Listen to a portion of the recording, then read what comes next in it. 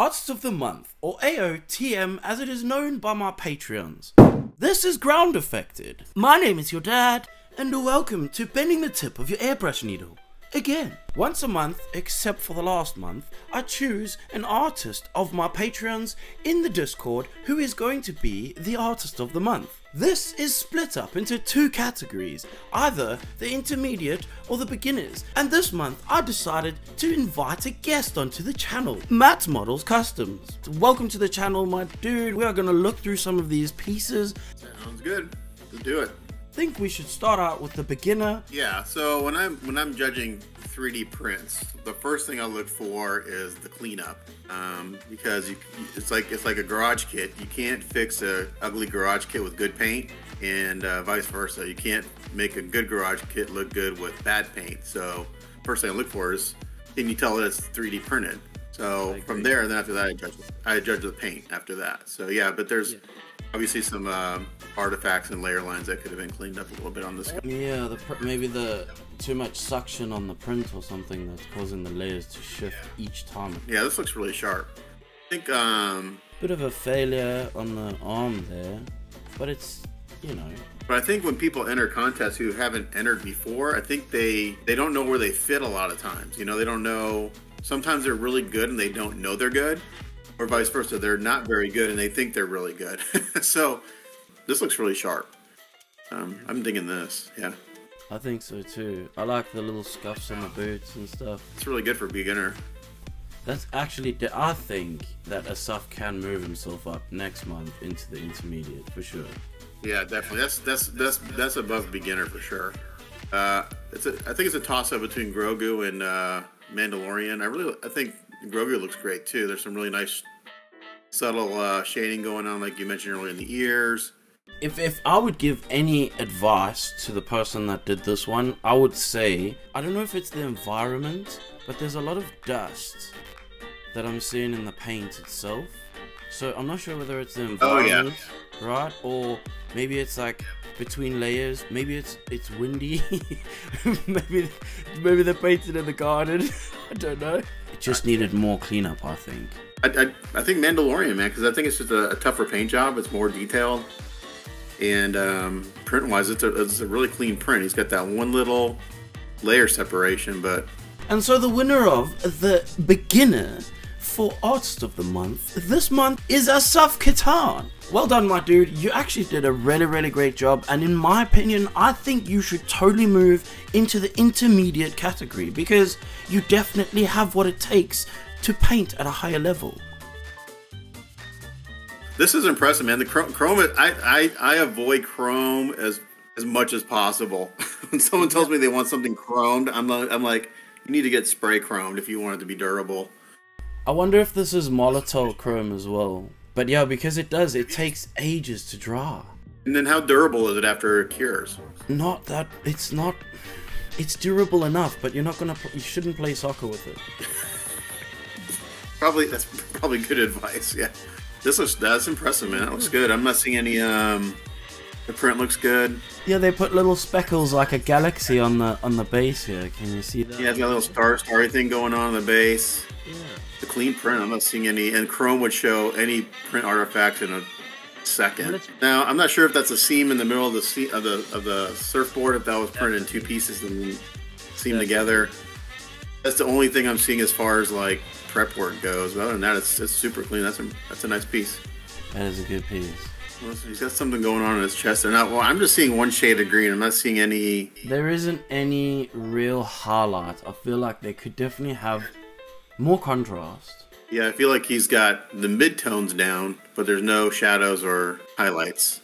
maybe some blue or even purple in those shadows Now there, I'm seeing a little, just a tiny bit of shading in the chest, but overall it's pretty flat. a little bit more contrast a little bit more contrast would push this piece a lot further The mouth is actually really good. I mean, the, the teeth are a little little white, but I think the gums are looking pretty good. The tongue looks pretty good. Even the lips have some nice shading to them. That's a that's a detailed piece. So that's um. So my guess is it probably hand painted most of that, um, just by looking at the lines and stuff. That to me is a, an all airbrush kind of job. Um, if you don't have an airbrush, obviously you have to hand paint. But um, that's that's hard to do by hand just because it's it's got to be super clean.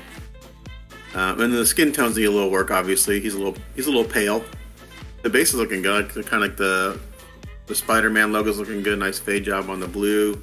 Try to so he hand. I don't hand paint eyes. I use decals to begin with, and then I paint over them because I suck at painting eyes. so they're placed right.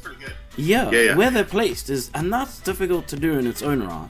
this is a beginner. Like, His portrait could do with a little bit of work, but it, this is this is not beginner anymore. no, this is definitely intermediate at least. His lining could be a little bit better, for example, here. Yeah, so he's probably about 14 inches tall all- altogether from the base to the top of his head. So you kind of have to also, when you're judging something, we're zooming in here on the screen, but in person you wouldn't get that close to it. So you kind of have to. Everything has a viewing distance. So the bigger the piece is, the further back you would stand at, you know, in person and look at it. So that's kind of how when I'm when I'm painting, I look at things. Okay, what would I? How would I view this? You know, I get my my optical optimizers on, whatever, and paint. But then I look at it and I judge it from where I would view it in real life. So when you zoom in and you're being super, super hy- hypercritical, sometimes you, you see things you normally wouldn't see in person. But looking at this overall, it looks really good. Overall, looks really good. I think there's a nice Yeah, yeah. amount of shadow, a nice amount of highlight, good separation on the elements on the suit, for example. Yeah, Deadpool looks great, man. It's a toss up between Deadpool and Silver Surfer for me. Deadpool, just Bat Dad, needs to be moved over into the intermediate series because he is good enough to be painting there. However, between these two, if I'm gonna pick one, I'm gonna choose Deadpool because I think it's a freaking fantastic piece. Overall, aesthetically, it just looks pleasing to me. So that is it for the beginner series. We're now going to move over onto the intermediate series, and again, because I missed two months, we've got two months worth of this. There weren't as many entries, however, everybody gets a chance to uh, share their work. These people have chosen to be in the intermediate series because they believe that their work is of a certain level. This looks this looks great, man. This is Yeah. Let's zoom in a bit, yeah, and have a look. But I think composition with the colors and everything, they all belong in this environment. They look like they're in this environment. Some she's added, I don't know if it's a she or a they, they have added some foliage to the base. So, and that that I think that's a good touch to me. I mean, maybe not so much in like larger scale statue. You wouldn't really do that kind of thing, but on on this kind of stuff, especially in a hobby, adding this stuff looks really good. Yeah, I mean, if I'm being, I, I, never, I don't paint dinosaurs. it looks really good. I think if I had like one kind of critique, and this is just from viewing other people who've painted dinosaurs and seeing their work, the only critique I really have on this, and it's looking at it pulled back a little bit, and I could be completely wrong on this, but like the underside of the T Rex might be a slightly different shade. But I think this looks fantastic. This looks It's cool. I like the blood on the little raptor's hands. And obviously, because they've been fighting him and stuff, so it's really cool. And this is a bust from uh, Wolf Tavern Miniatures, so this will be a miniature bust. I think so. I, I'm not a mini painter. I've I've I've judged minis and I've looked at them. So my my initial thought is that this is like a good starting point, and from here, this person would build up more highlights and more shadows. Because again, it looks a little overall flat to me. And Yeah. typically, the smaller you paint, the more contrast you want. You paint a lot of minis, Brent, so you know Yes. the smaller it is, you want to really um, exaggerate the details and the high and the and the contrast because You your eyes physically can't focus that close, so you have to kind of fake the eye with how you paint. But you can you can use those techniques though to help even in large scale things. If you wanted to push a little bit of emphasis, say for example, on a bag that a character was holding, you could use that forced um, contrast to help push out certain pieces. I do I do that also. and I tend to do that really with um, if they're wearing like fabrics or clothing. I Yeah. tend to really kind of if there's like a lot of really cool texture sculpted in, I really try to bring that out and just make it pop. I feel like like this is a good starting point, like midway through the painting process, and it just needs to punch it up a little bit more. So quarter scale, this is gonna be pretty big. This is probably 16 inches tall, 17 inches tall, would be my guess, somewhere in there. Yeah, those. Uh, so if you go back up to that um, like corrugated pipe, those are a bitch to clean up. You can see it in there. That's probably where his supports were. It's in a spot where you can't see it, I usually don't worry about it. But if I can see that, then I go in and I'll clean up every single one of those little grooves. And it's it's, it's super tedious. But especially if you're gonna do like a chrome finish, or if you do any, if you know you're gonna do dry brushing later, Yeah, it'll stand out like a sore thumb. Oh my god, if you dry brush that. when I'm you know when I'm when I'm setting up my parts to print, I'm trying to always put my supports in areas where I don't care if I don't see it, where if I don't get the cleanup, you know, 100%. This looks really good overall. I, mean, yeah, I'm actually really, I'm really impressed. In this situation, if you saw this in a shop, it was in a um, a cabinet or something. They had their shop lights on, as this is like that. This is how it would look, right? yeah. My, my only real crit is that maybe if since he's stomping on skulls and mud, maybe dirty up the feet a little bit. Agreed. You should literally throw mud at it as well as on the skulls themselves. Yeah, yeah, because he's he's really clean overall. This is his first entry into the into. Now he's with the big boy, so now he's gotta he's gotta take it. yeah. I always find these kind of ones a little bit awkward because how do you display them as well? Like, it does do you display it coming forward? Do you display it going to the side? Like, I think that also makes it a problem when you paint this too, because especially with minis, you pick a display side and you paint that side to be the side that you view, right? Are those uh, are those print artifacts or is that part of the sculpt? So this could be pushed. I think confidence levels with this is probably a thing. Pushing that contrast a little bit more, being conscious that you can do that. You know. Overall, I think it's a cool piece though. It's Sculpt is a beautiful sculpt. Well, I think it's his photo. So if you look at how he photographed it, there's one light, and I know a lot of people don't have photographs like photo setups. And that's that's an art in its in itself as photographing pieces. Because I think what's happening in his light is yeah. washing is washing Yeah. everything out. Because it's only, you're seeing there's one shadow behind him, and I think if it was lit differently, we would see a lot more detail in the skin because I can kind of see it. So what's there is just the, the lighting on the photo just washes everything out, unfortunately. But I can we can see it. Like and the the leather looks really good. The, the metal on the metal uh, shoulder plate looks fantastic. Even the little dragon logo, he's got some varying tonal values in there. Um, this looks really sharp, man. This looks really good. I think if it was lit different, his skin would look 100% better. But I think it's like, man, that little uh, that little gnome thing on his leg, that looks great. Yeah. So and, if you his beard his beard is obviously dry brush and it's all one tone. So a real quick, easy way to fix that if you want to, because I dry brush skin every once in a while too, but I don't leave it. no, you airbrush back.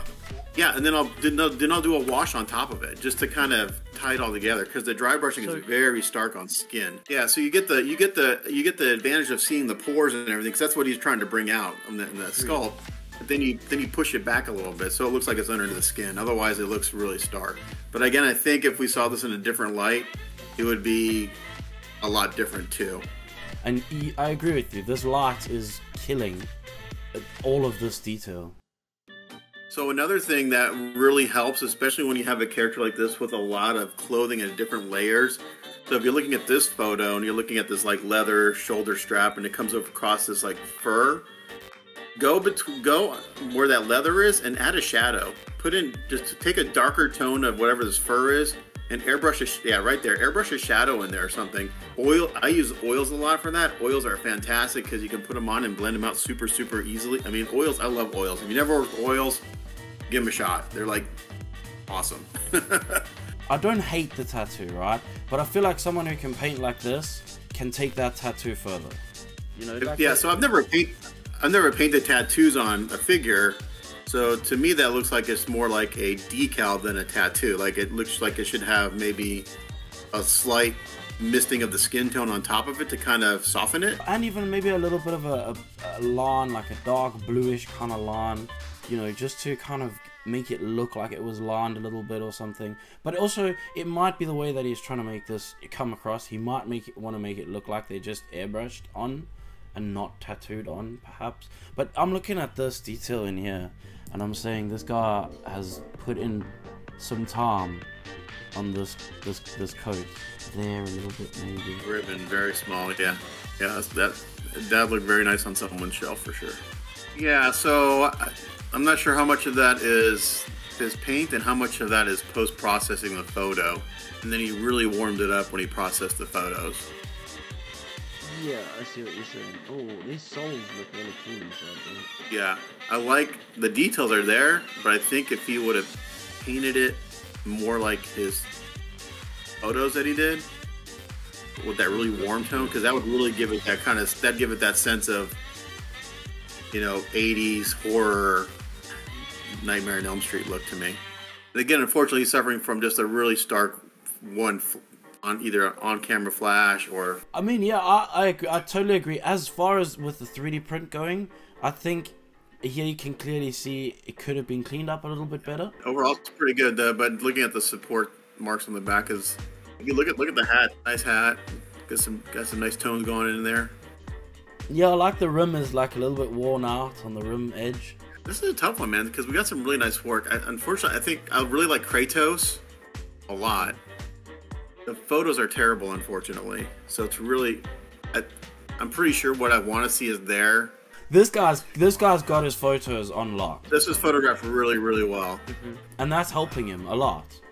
So it shows off all your work. If you photograph stuff, if you can photograph it correctly, it'll show your work off, and that's that's a whole nother kind of thing to learn is how to photograph your pieces. So my, my gut instincts for me is between this and Jurassic Park. I'm actually talking between uh, Kratos, Jurassic Park, and the uh, the bust. I kind of I kind of lean towards Jurassic because it tells a story. I agree. It tells a whole story. I mean, so does the other one, but the Jurassic one just gives it so much. There is so much more in the story. You can tell the whole story by looking at it, and the more you look at it, the more story comes out. So that makes the winner of the Artist of the Month for the intermediate category in December, Valentine my dude, you did a freaking amazing job. This is such a great piece, and uh, continue to make cool pieces like this. And this guy's got quite nice little hobby setup. I like his paintbrush. This is really cool, actually. Look at the boat going down the water. Yeah, good old Pennywise. I'm assuming this is supposed to be Pennywise because the balloons. Uh, the... Like the 90. This is. He says it's it 1990. I mean, it's freakishly scary. I would not want that on my shelf looking at me at night. yeah, it is terrifying. I like this texture in the base. This looks very rendered. Looks great, and um, hair clothes look great. Black, black is actually a really hard color, especially you have several tones of black. Yeah. It's like white. There isn't just one white. There, it's infinite tones of white, and same with black. Yeah, I mean, even the stripe on the dress here that's come out, he's used just the edge to edge highlight the dress. So that's like that's like really clever. I think to me that's very clever thinking. Also look at the difference. The shoes are polished. Yeah, they look like leather. They and they've got a they've got a gloss on them as well as the bag. Certain parts are glossy, but her dress and the rest of her clothes and everything is not. I feel like his portrait could do with a little bit of work, but it needs a little more. Now we got some pop marks, unfortunately, but from the supports. But I think yeah, it needs a little more detail in it because it looks kind of very monotone right now. I like it. I, I would I would love to print and paint one of those myself. That's beautiful. This yeah, is this is a this is a custom piece. Yeah. I own I own this kit. okay, so let's let's have a look through the picture. The only thing we can judge on this is the paint because this kit is by a company in China called Ownage, and they produced the best kits around in the figure world. It's like when I when I get an Ownage kit, I know like if if there's any prep work, it's like super super minimal. It's like almost zero usually. So we just have to judge the paint because there's no prep work on these things. I think yeah. on this one, if you look now, if you look at his back there, see how it's separating a little bit from the belt. So that's because of all the weight leaning forward and the magnet's not strong enough. So in my kit, what I did is I actually put another pin. I put a large pin, a 3 8 inch pin in the back there, so it doesn't get that gap. But uh, overall, the paint looks good. Um, the skin tones on his arms, I'm not a fan of. They look a little yellow. The portrait looks great. And the base overall looks really good. I think the weathering's there. Um, I'm not sure what, again, depends on which comic you. Some guys paint these things green, and I don't think the color really matters. But the paint's there, good weathering, got some like oil effects, and um, I kind of I lean towards Pennywise, really, to be honest. That's that's my opinion. It looks exactly like it came from the '90s. It. I mean, it looks great. I'm choo- I'm choosing I'm choosing Pennywise. Cool. I think I'll agree with you on that one. The artist of the month for January is gonna be Will with It. And between me and Matt, we've decided that you did a great job on this piece and you should carry on painting like this. Don't forget, everybody, you cannot enter if you won any of the previous months. You have to cool down period for one month and uh, paint some awesome stuff. All right. Well, I want to thank Brent for having me on and uh, helping him uh, critique other people's work uh, this month. It's better than people critiquing my work. Uh, but yeah, this is Matt from Matt's Models Customs. Uh, I have a YouTube channel. It's Matt's Models Customs. Pretty simple. Um, you can check out. I've got if you're into larger scale stuff, kits and stuff like that. I have full work in progress videos of that. And then also check me out on Facebook, same page, or same name, Matt's Models Customs, where I post regularly and have live broadcasts and stuff on stuff I'm working. So uh, thanks for having me. I appreciate it. It's a lot of fun.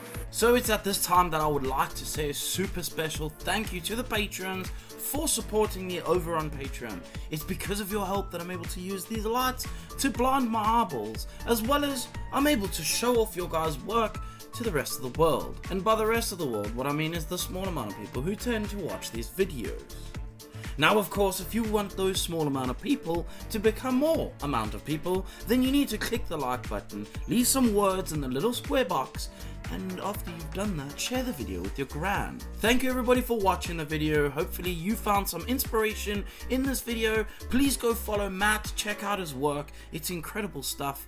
And uh, if you didn't like anything you saw in the video, then the best thing I can say to you is just fuck off. Now I'm gonna go do nothing for another two months before I do another Artist of the Month. Sorry about that, bros.